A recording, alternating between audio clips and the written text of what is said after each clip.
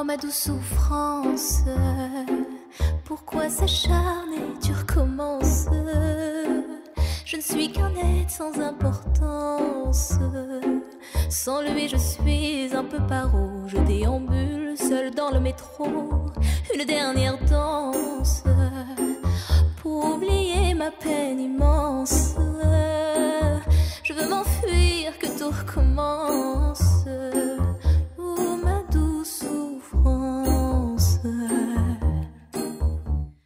A Balasinak a műfordító képzése tíz éves. Ez alatt a tíz év alatt kiszámoltam 92 hallgató járt ide, és kb. 25 nyelvet képviselnek, ami hát elég furcsa, nem is gondolná az ember. Vannak köztük ázsiaiak, de nyilván a többség európai. Mi történik itt? Hát tanulnak műfordítást elsősorban heti két órába, ezt csinálom én velük. A képzésnek a különlegessége az, hogy minden hallgatónak akármilyen nyelvet, nyelvre fordít, van egy személyes konzulense. Egész év alatt, tehát tíz hónap alatt van valaki, egy anyanyelvi professzionális fordító többnyire, vagy Magyarországon, vagy esetleg külföldön, ha itt nem találunk ilyet, akivel az egész év munkáját megbeszélheti. Ez azért fontos, mert mi a 19., 20., 21. századi irodalomból mindenféle szöveget veszünk, különböző stílusokat, különböző korokat képviselnek, és ezeken kipróbálhatják, hogy tulajdonképpen mihez fülik a foguk, mit szeretnek fordítani. Nem csak egyetlen ízlésnek megfelelő, vagy egy irodalomtörténeti kánonnak megfelelő szerzőket válogatok be, hanem sokfélét, mert az a tapasztalatom, hogy, hogy egy külföldi ország, vagy külföldi olvasó számára, vagy egy másik, másik kultúra felől nem mindig ugyanaz érdekes, mint az anyanyelvi kultúrán belül.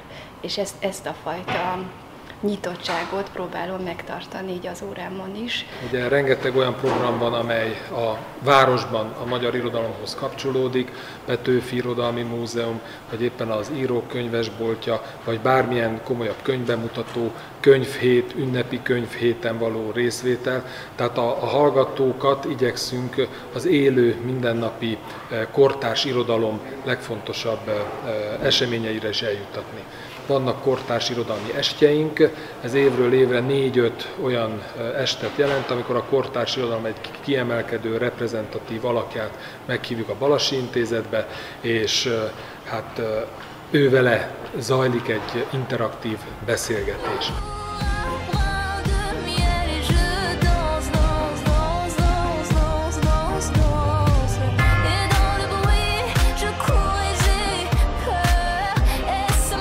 A képzés részét képezi, hála Istennek az, hogy mindenfél évben legalább három mm, színházi előadásra el tudunk menni, tehát ezt az intézet finanszírozza.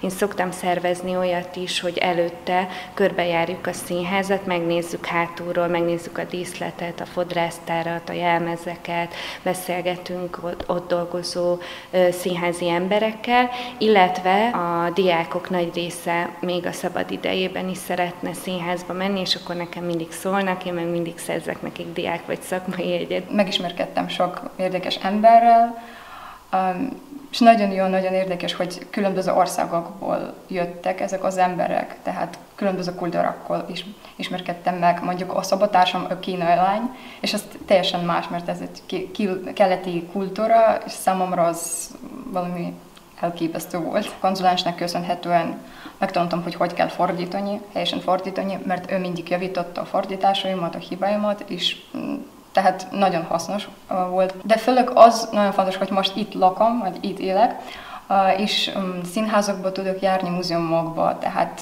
én a környezetben vagyok. Ez egy uh, egyetlen lehetőség egész Magyarországon, hogy valaki műfő, műfordítás pályára készül. Az a helyzet, hogy nagyon kevés magyar kínai műfordító, az egyetlen, nagyon tapasztalt, a híres a műfordító, az a konszulens az egyetlen, aki, a, te, a, aki foglalkozik vele, és én is nagyon szeretem második lenni. Szerintem rendkívül fontos, hogyha magyar irodalmat akar fordítani.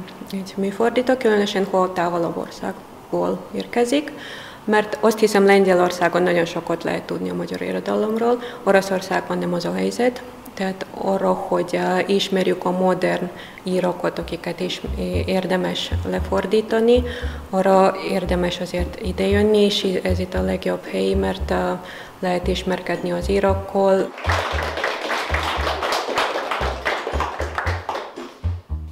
Amikor befejezik a képzést, akkor egy diploma osztással végződik a tanév.